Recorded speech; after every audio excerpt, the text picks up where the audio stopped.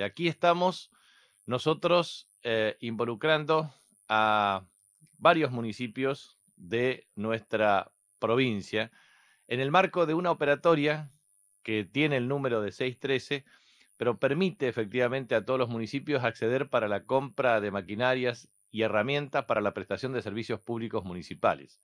La línea está habilitada por mil millones de pesos y tiene por objetivo estimular la producción de determinados bienes que eh, formen parte de la industria metalmecánica de la provincia. Es decir, estimulamos para que parte de las maquinarias, herramientas, tanques, etcétera, puedan ser producidas por la industria metalmecánica, que a su vez genere empleo y de esta manera dinamice la actividad económica en la provincia.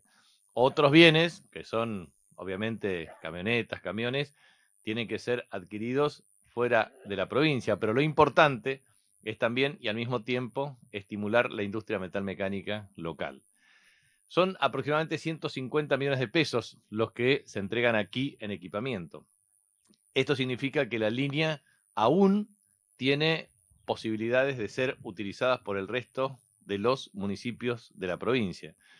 Nosotros sabemos muy bien que cada municipio tiene que prestar servicios públicos. Esos servicios públicos tienen que ver con alumbrado, barrido, limpieza, poda, este, recolección de residuos sólidos urbanos, su clasificación, etcétera, etcétera. Para lo cual necesita tractores, maquinarias, herramientas, vehículos, a los efectos del traslado de sus trabajadores y también, obviamente, para cumplir el cometido.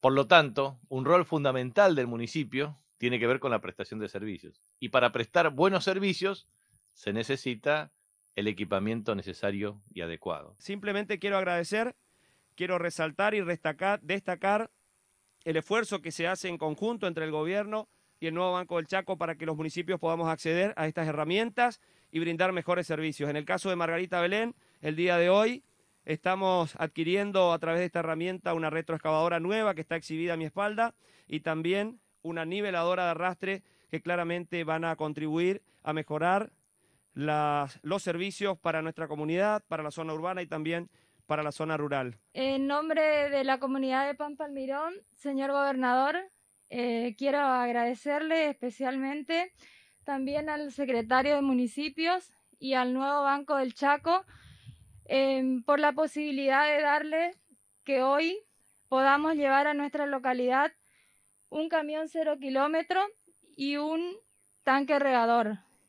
Agradecer a la gestión del gobernador Capitanís por no entender ninguna grieta, por trabajar para todos, por la, por la gestión del Banco del Chaco, eh, por eh, aliviar las cuotas y los beneficios a cada uno de los municipios, por, la, por nuestro subsecretario de municipio y su equipo, la gente que, está cotidianamente en contacto con nosotros, eh, nos dio esta factibilidad de poder lograr este primer paso y que estoy seguro y reconvencido que va a ser pasos superiores y mayores para cumplimentar la necesidad de todos los municipios de la provincia. Así que muchísimas gracias, gobernador.